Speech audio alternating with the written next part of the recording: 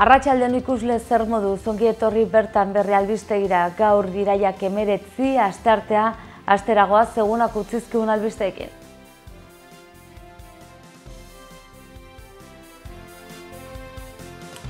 Sustapen ministerioak atzera botadu Nafarroak abiadura handiko trenaz egindako proposamena. Asteazken honetan hasiko dire Iruñan Nafarroako trenbide korridoreari buruzko informazioa zuzenen emateko saioak. Arala arralderdia desegitarekin agertoki politikoa argitzen dela uste du zabaletak. Nafarroako ospitalgunean beren jarduera kirurgikoaren berrantolak eta burutu du beste bi ebakuntzak gela irekitzearekin. Euskarazko antzerkia, dantza, musika eta performantzeak ustartzen dituen garaikide ziklo aurkeztu du Iruñako udalak. Txantrea uzoko zueiz preziatuen aukeratzeko ekimena abian da.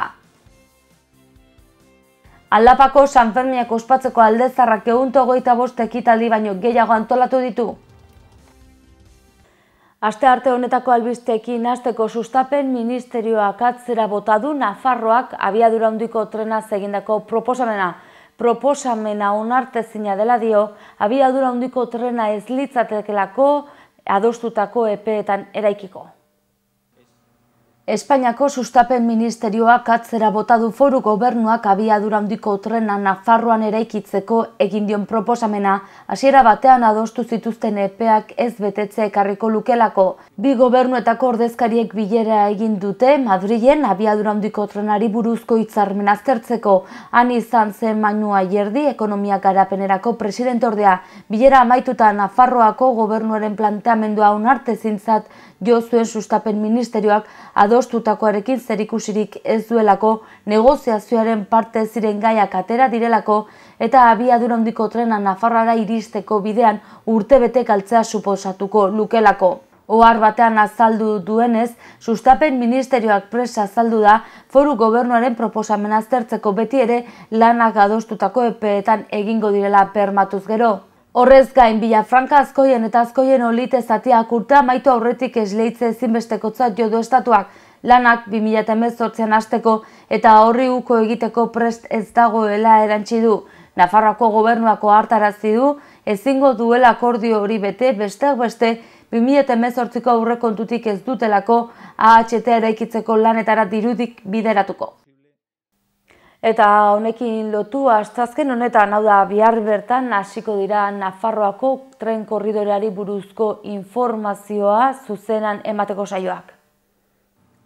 Nafarroako gobernuak trenbidea ardatzean zehar antolatu dituen bost informazio saioen lehenengoa izango da astazken honetan iraiako gehi arratsaldeko zazpiterdietan iruñeko planetarioan. Helburua foru gobernuak proiektu honi buruz bildu duen informazio guztia herritarrei ematea da, Manu Ayerdi lehen dakari orde ekonomikoa izango da bertaratutakoei Nafarroako trenbide korridoraren proiektuari buruzko laburpena emango diena. Ondoren azalpenak emateko txanda izango da publikoak informazio gehiago edo argibideak eskatzeko baita beraien iritzi emateko ere. Formatu berdinarekin datozen lau asteetan foru trenbide ardatzetako herri nagusietan errepikatuko dira informazio saio horiek. Asteazkenean, iraiako goita zazpi altxasun. Asteartean, Iurriak iru Kastejongo Museoan.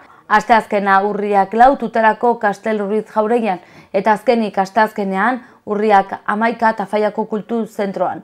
Lau saio horiek arratsaldeko seiterditan hasiko dira. Informazio saio guztietarako sarrera libre izango da, leku guztiak bete arte. Aralar alderdia desegitarekin agertoki politiko argitzen dela uste du zabaletak. Abenduko kongresuan alderdi desegiteko erabakiarekin agertoki politiko argitzeko ekarpen apala egingo dutela adierazi du Patxi Zabaleta aralarreko presidenteak.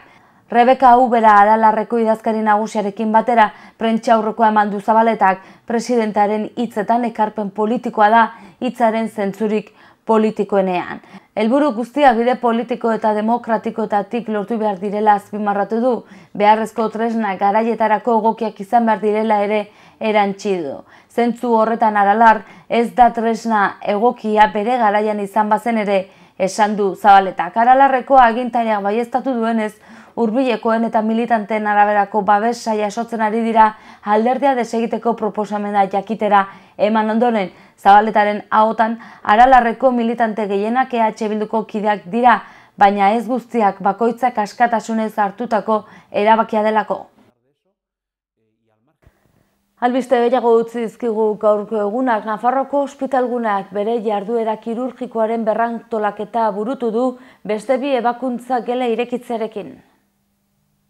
Ospitalguneak bere jarduera kirurgikoaren berrantolaketa burutuko du gaur, beste bi ebakuntza gela irekitzearekin horrela, azken belaunaldiko ekipamendua izango dute, toraxeko kirurgia, endokrinoa, baskularra eta neurokirurgia egiteko. Azken bi urteetan egindako instalazio berriek eta antolaketa aldaketek ebakuntzaren programazioa euneko bederatzea undituko dute Nafarroko ospitale gunetan. Azteko, laureunda berrogei ebakuntzetatik laureunda larogei ebakuntzetara pasako dira goizetan. Programazioaren handitzea kirurgia pediatrikoan nabarituko da berezeki euneko goita marra handituko delako, astero, berrogeita mabi ebakuntzatara heldu arte plangintza berriak instalazioen handitzea eta ekipamendu berrien eskuratzeak arretaren eta pazientearen segurtasunaren hobekuntza ekarriko dute, baita osasun arloko profesionalen eskura dauden baliabideak. Euskarazko antzerkia, dantza, musika eta performantzeak uztartzen dituen garaikide zikloa aurkeztu du Iruñako udalak iraiaren hogeita beratzetik urriaren hogeita bortzera. Eruñako udalak abian jarri du arte garaikideko euskarazko adierazpen artistikoko proiektu berri bat, iraiaren ogoita bederatzetik urriaren ogoita bortzera egingo dena Ziudadelan konde establen Iturramako Zibiboxean eta Nafarroako antzerki eskolan. Kulturako, hizkuntza politikako, hizkuntzako eta kiroleko zinegotzi ordezkari maider belokik eta Euskarako ordinatzaile inaki azkonak atzogo izan aurkeztu zituzten prentxaurrekoan garaikide erakusketak antzerki, dantza, musika eta performantzan inguruan eskeniko dituzten zazpi proposamenak. Prentxaurrekoan azpimarratu duten bezala, hizkuntza baten garapenerako garrantzitsua da esparru berriak erabiltza eta horietara egokitzeak. Kasu honetan, arte mintzaira berritzaileetan, Euskara erabili izan oiden proposamen eta formatuetatik aratako. Ikuskizunetarako sarrerak bort zeuruan eros daitezke emanaldiaren tokian bertan edo irubebikoitza.iruñak kultura da .eus edo irubebikoitza pamplona.es eta irubebikoitza la escuela de teatro.com webunetan salbu eta bai ben produkziones taldeak ziudadelan egingo duen emanaldiaren kasuan izan ere sarrera kama euro balio dute eta gaiarre antzokiko lehiatiletan eta irubebikoitza teatro gaiarre.com webunean ardaiteke. Programa honetan e, e, egin nahi izan dugu ba, e, erakustaldi bat eman, E, gaur egun e, Euskaldun artistek, artistek hemen, konkretuki musikariak eta eta arte plastiko e, arte, arte plastikoetako zera protagonistak, horiek euskeraz e, eta hizkuntz garaikidean, hizkuntz modernoan edo konzept, konzeptu modernoarekin egiten dituzten lanenak, ez? Bizkate, lan horiek e, erakutsi alizateko. Baldintza batekin, lan horiek, e, bueno, egun, Euskera e, lan horiek artista asko ari dira egiten eta genera askotan, mus, musikan, dantzan, e, baina guk hartu ditugu batez e, musika eta arte plastiko eta arte eszenikoetan eta euskera zaritzen direnak. Orduan e, euskera da ba, e, baldintza, ez da? Ikusten dugulakoz e, kultura eta euskaraz egiten den kultura baita ere hizkuntza politika egiteko tresna e, e, garrantzitsua da. E, kasu honetan, kulturak beti izaten duen e, edukiaz gain, zakit, e, kultura izaten da, e, ba, balor estetikoa du, badu balore kuratib, kuratiboa nahi baldin baduzu, ongi, ongi egoteko, badu ere e, konzeptu aldetik, e, elkarrekin e, hausnartzeko e, parada ematen du. Kasu honetan, euskaraz egitean eta gure egoeran e, hizkuntz politikako tresna importantea da, horregatik ekarri dugu e, euskeraz eta garaikidea, da. E, Mai egingo dut bizka bat, e, alako ibilbide bat, e, antolatu behar ditugun ekitalditatik bizka bat, e, alako nabardura bat emateko, pinzelada bat emateko. E, hasiko gara, e, irailako goita bedatzean, ertza, ertza dantza kompainiarekin, e, dantza ikus, e, emankizun batekin. E, Asir Zabaleta dantzari famatuak, e, eta e, ospetsuak berak e, koreografiatua, eta arkaiz kanoren testu eder, ederrekin, oso, oso ikust, e, emanaldi ederra da. Bost dantzari, taulan, e, txontxongiloekin, titerekin, eta alako hausnarketa bat nolabait e, bizitzaren auskortasunaz dorela zein zein erres e, ongien gaudelnean edo ongien da, gaudela ematen duenean edo zen gauza gertatu daiteke eta zein erres e, austen den gure bizimodua ez pizkat horren inguruan e, hausnarketa Urrengo egunean, iraiako goita marrean, larun batean, e, Mursego eta Moranteren konzertua. Musego eta Morantegia bihurtu dira, momentu honetan ja dira e, kantu, kantuaren eta musikaren erraldoiak, ez? Bakutzak e, ibilbide berezia eta importantea du, ba, bakarrik eta, eta beste taldekin, baina ja biok bakarrik egin dutena e, oso importantea da. E? Biok ez, dute zer behar e, betetzeko areto bat eta osatzeko ez dakit, sinfonia oso bat, ez? Pentsa hori bakarka egiten badute, zer egingo dute biok eh, elkarrekin, ez? Hau da, lusuzko emanaldia, egingo, egingo dutena, larun bat horretan muselgo eta eta morantea. Jarrituko dugu...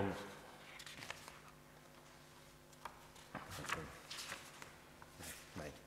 Urriaren, urriaren lauean jarrikaituko dugu metro kuadroka kolektiboarekin eta batez ere oiergian e, dramaturgo, antzesle, e, e, idazlearekin. Ne? Oier gilanek ere bide oso bide mankorra e, egiten ari da, e, e, Euskal Antzerkian, eta baita ere beti e, ikutua nolabait gogo horrekin, ez? zerbait abanguardista, zerbait berri, gauzak moldeak hausteko e, e, asmor horrekin.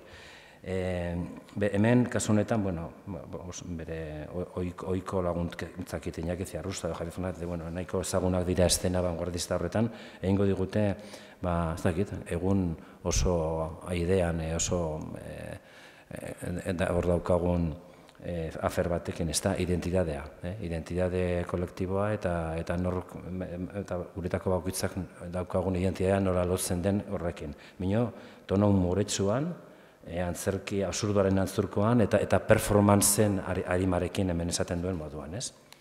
Estilo honetan jarraituko du e, urriaren amarrean, e, miren tirapu e, antzesle, antzesleak, miren tirapu gainera nafarra dugu larra ondarra, e, eta, eta berak ere bide, bide oparo egin du batez ere antzerki abanguardista edo hausle izan nahi duen horretan, ez? Hemen bere monologoa, aurkeztu duen monologoa, e, lerro horretatik doa. Urriaren amazazpian, Ciudade Laragoaz, arma, bertako armaretoa, hemen e, austura heldu da espaziotik batez ere, ez? Espazioak hausten dira. Hemen ez dago antzokirik eta ez dago estenatokirik. Hemen e, e, er, armaretoko lehen solairua bihurtuko da barrakoi bat. Barsobiako getoko ba, barrakoi bat, non e, umezurtz jodutarrak dauden, jasotzen du gainera e, historia, benetako historia bat gertatu zena, bertan el, e, Janus Kortzak, edo esaten den moduan, e, mediko eta pedago horrek bildu zituen um, ume, umezurtzak eta egin zuten alako errepublika, aurre errepublika bat, ez er, e, hortan. E, kasu honetan, e, bi, hori, ziudadelako marmaretoa bihurtuko da, eta bere literez, literez, bere baskaltzeko maiez, hor barrakoi bat. Eta jende egongo da barrakoi bat. Eh? Antzesleak eta publikoa danak elkarrekin, literetatik eh, ikusiko da, bueno, osa berezia da.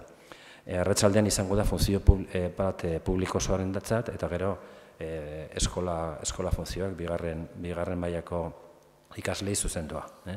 Deia egiten digu hemendik institutako eta bigarren hezkuntzako arduradunei ba, kontuan hartzeko eta et, eta ez dakit bere ikasleak bialtzeko.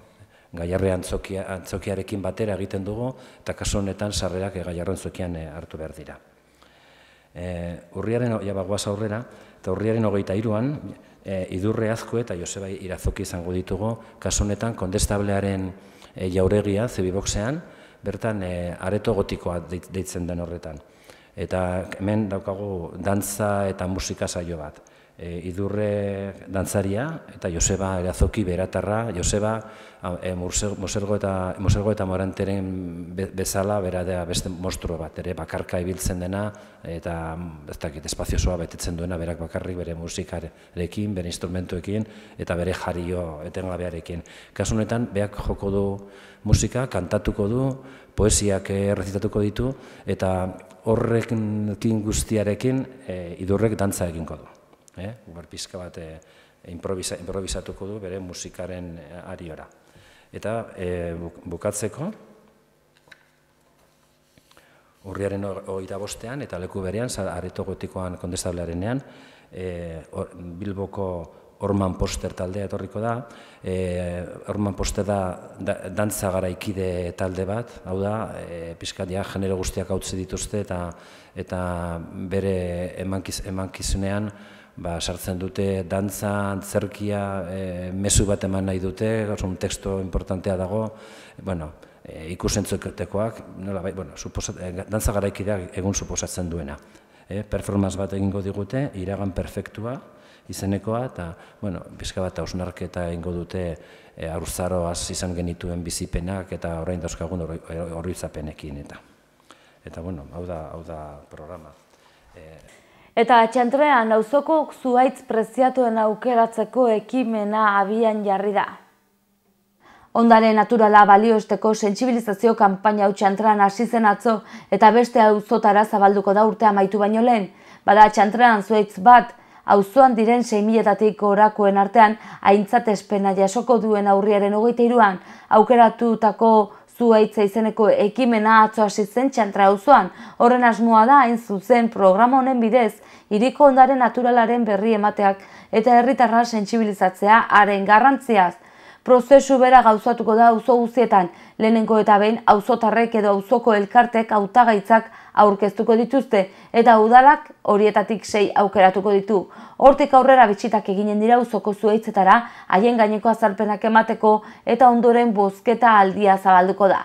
Helburua da hautatutako alea referente bat izate auzotarrentzat urte osan zehar, beti ere kontuan harturik haren garrantzi historikoa, ingurumenekoa monumentala edo sentimentala.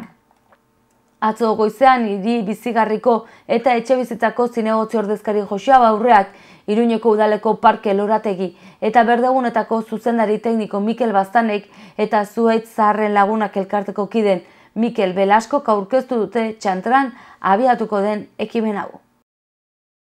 Eta albistekin bukatzeko aldapako Sanferminako ospatzeko aldezarrak egun togoita bost ekitaldi baino gehiago antolatu ditu. Asteburuan ospatuko dira, iraiaren hogeita bitik hogeita laura bitarte. Aldezarrak aldapako Sanfermin jaiak ospatuko ditu iraiaren hogeita bitik, hogeita laura bitartean auzo osoan zehar, barreiatutako egun togoita bortz ekitalditik gora bilduko dituen programari esker. Ilaren amabortzetik aurrera jaien aurreko jarduerak izango dira eta hilaren ogoita bian, eguerdiko amabietan, udalbatza txikiak ofizialki emango dia hasiera festari korazonisten plazan egingo den txupinazoaren bitartez. Guazen eguraldiaren iragarpena zen den ikustera.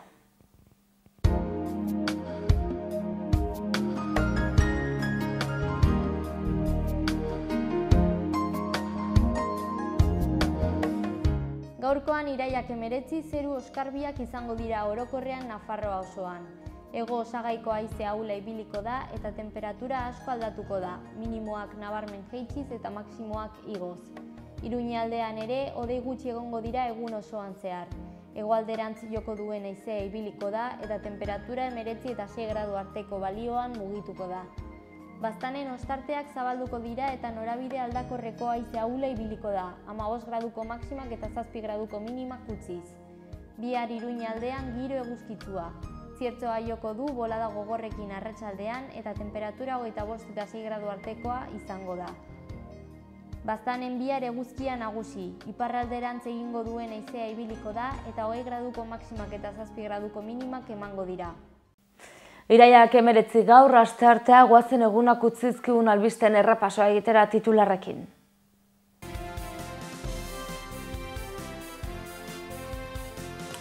Sustapen ministerioak atzera botadu Nafarroak abiadura handiko trenaz egindako proposamena.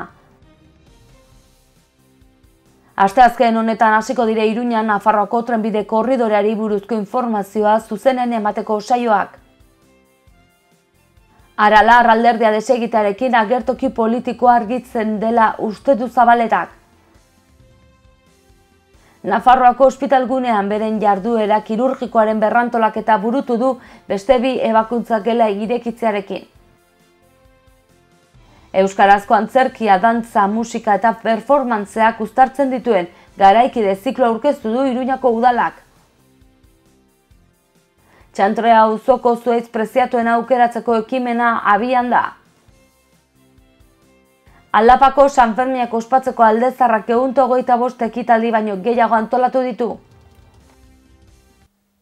Eta hausia izan da dena, bertzerik ez, mi esker zen arratagatik eta aste arte nahi izan, biar arte.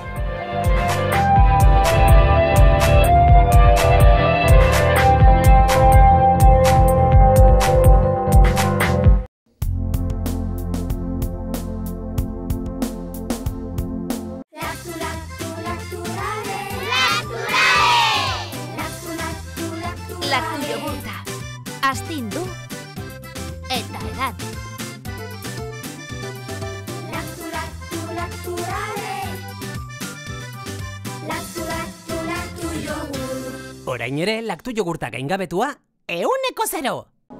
Gorritxon atxedenerako sistema oberenak eta loaldi egoki batendako beharrezkoak diren produktuak aurkituko dituzu berrogei urte daramatzagu punta-puntako materialak eta marka oberenak bezeroaren eskura jartzen. Deskansatzeko sistemetan aditua gara, sofak, koltsoiak, somierrak. Urbildu eta eskuzabali jasoko zaitugu.